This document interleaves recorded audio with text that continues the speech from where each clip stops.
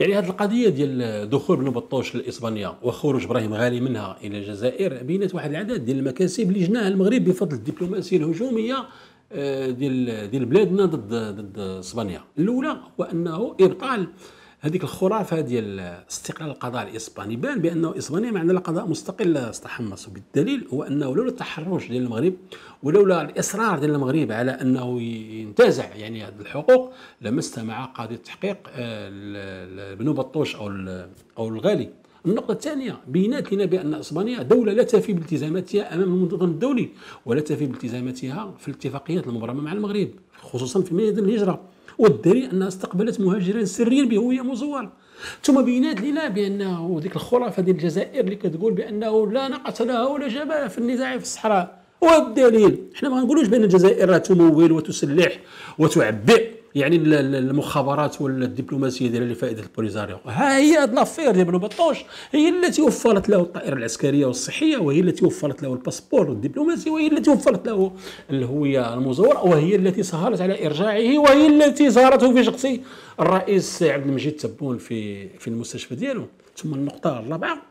بينات لنا بأن البوليساريو يعني منظمة لا علاقة لها بحركة التحرر وهذا الشيء كانوا كاين المغرب كيقولوا بأن البوليساريو منظمة إرهابية وإجرامية. والدليل هو أنه قاضي ديال إسبانيا استمع إلى إبراهيم غالي كمتهم في جرائم ديال الإبادة وجرائم ديال الاغتصاب والتعذيب والإختطاف.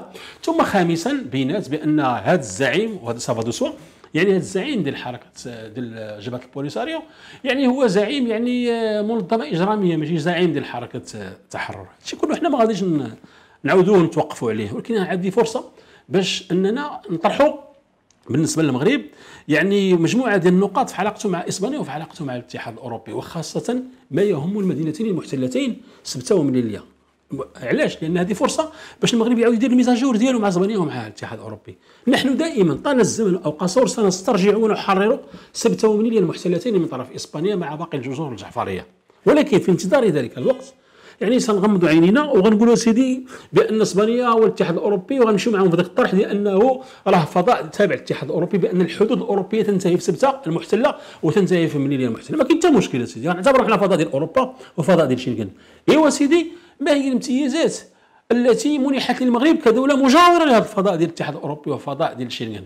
هل يتمتع المغرب بنفس الأفضلية التي له ولتلك الدول التي توجد في أوروبا الشرقية مجاورة للحدود الأوروبية ديال فضاء شنغن؟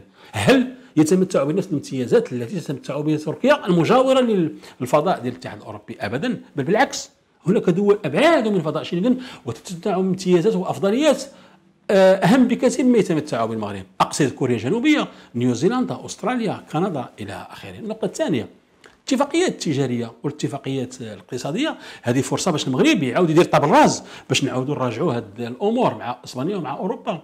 إذ بفضل الثقة التي وضعها المغرب ومنحها للشركات الإسبانية. استطاعت إسبانيا أن تتغلغل في الاقتصاد المغربي بل أصبحت تنتزع كل الصفقات وكل الامتيازات الاقتصادية لدرجة أن إسبانيا أصبحت الآن هي الشريك الاقتصادي الأول في المغرب. بالمقابل الشركات ديالنا والمقاولات ديالنا إحنا كمغاربة يعني عرف في الشابيتر ديال النقل الطرقي يعني الكاميوات ديالنا ملي كيكونوا غاديين بالسلعة وبالبضائع الفلاحية لتوزيعها في الدول الأوروبية يتعرضون يوميا للتسخسير يتعرضون يوميا للجرجير من طرف الحرس المدني الإسباني ومن طرف الجمارك الإسبانية. لا حق بطاطا ماشي خصها تكون هكاك مقوعطة لا حق الشاك ما خصهاش تكون ديال الكاميو هكاك لا حق الموتور ديال الكاميو كيفيمي إلى آخره.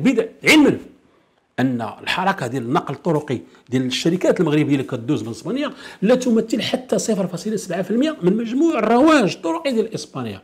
وبالتالي يعني كان أولى لإسبانيا التي تدعي أنها يعني حريصة على البيئة حريصة على السلامة الصحية حريصة على البضائع إلى آخره. ان تتشدد مع الدول اللي عندها 20 أو 30% من الرواج الطرقي وليس مع المغرب اللي عنده يلا 0.7% من هذاك النقل الطرقي. ثم ثالثا يعني كل صباح عشرين ألف مغربي عسكري وبوليسي وجدارمي ومن القوات المساعدة واقفين حسكة في الحدود البحرية ديال ديال المغرب. ليس حبا في سواد إسبان وليس حبا في عيون الإسبان. لا لوان دو لا. المغرب ملتزم في الاتفاقيات ديالو مع الأمم المتحدة كدولة ذات سيادة لتجفيف المنابع ديال المافيا ديال التهريب ولتجفيف المنابع ديال المافيا ديال التجاره في البشر ومحاربة الإرهاب ومحاربة المافيا ديال المخدرات. وبالمقابل انت كاسبانيا المنظومة الأمنية ديالك الهشه أشنو اللي درتي باش تحمي الحدود ديالك لتمنعي تدفق القرقوبي وتدفق الكوكايين وتدفق المخدرات إلى إلى المغرب. لا بروف هو أنه في سبتة لما المغرب دار واحد رولاشمون ديال ساعة وقع ما وقع وبان بأن المنظومة الأمنية ديال إسبانيا كلها منظومة متهالكة ومنظومة هشة. لهذا كنقولوا بأن هذه لافير ديال بنو بطوش ولا غالي يعني هي في الحقيقة عسى أن تكرهوا شيئا وهو خير لكم لأنها بينت واحد العدد ديال العيوب بالنسبة لإسبانيا وبينات على واحد العدد ديال المكاسب لفائدة المغرب.